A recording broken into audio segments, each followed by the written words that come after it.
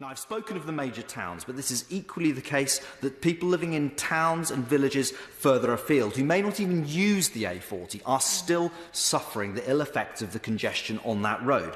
For example, Bladen, which is the village in which I live, we suffer from excessive traffic, particularly of HGVs, which rat run through our village on the A4095 in order to escape the congestion on the A40. Businesses across West Oxfordshire are shackled by those log jams on the A40, and I've lost count of the number of uh, businesses who've said to me over the last two years that they could expand were it not for the barrier that the A40 presents because of the congestion on it.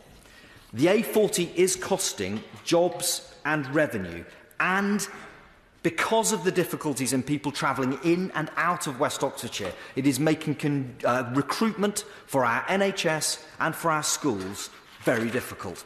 Now, this bid is connected to the delivery of the Oxfordshire Cotswolds Garden Village, which will see 2,200 new homes built on the A40 corridor.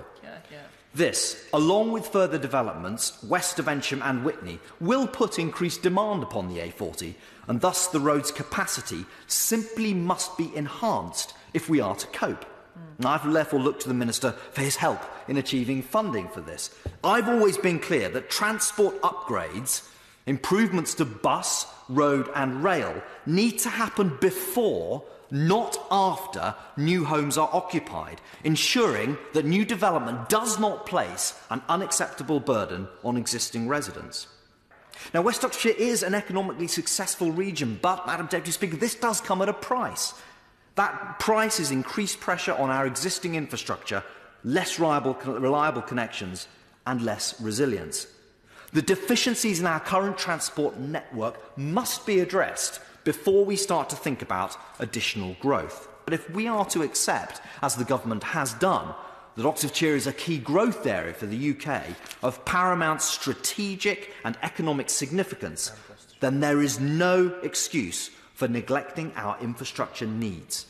I've spent much of this debate discussing the investment I want to see for direct upgrades uh, on the A40, but we mustn't forget, I'm very grateful uh, to the Honourable Member for the Cotswolds for having already um, foreshadowed the, uh, the points I want to make, the contribution to be made by West Oxfordshire's railways in tackling A40 congestion. It's in everyone's interests that we see fewer cars using the A40 wherever possible, and we can only see the modal shift that we need if our railways can offer a feasible, practicable, practicable and reliable service as an alternative In order for that to happen, we urgently need to see the remaining sections of the Cotswold line redoubled, enabling more frequent, more reliable trains to travel from Hamborough to Oxford.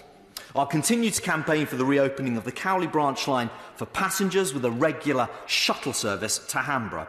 But if we improve bus and cycle links to and from Hamborough, we can create a public transport hub in West Oxfordshire, taking cars off the A40 and reducing congestion throughout our area. We need to build a truly integrated transport network in West Oxfordshire that meets the needs of our area and enables residents and businesses to thrive in the years ahead. Well, in conclusion, Madam Deputy Speaker, for decades, congestion on the A40 has been one of the biggest issues facing West Oxfordshire, and I am determined to tackle it. Now, we're moving in the right direction with opportunities for investment from a number of central government funds. So there's greater cause for optimism than there has been for decades But there's still much work to do if we are to deliver the improvements needed. And the main point I'd like to stress to the Minister is that it is not just, as we've heard from everybody who's contributed to the debate tonight, this is not just a matter of minor inconvenience for us. It's something that is a blight on the lives of commuters and a millstone around the necks of our businesses. It's vital that we work towards and ultimately achieve a final fix for the A40 because only then can West Oxfordshire and the surrounding areas achieve their full potential?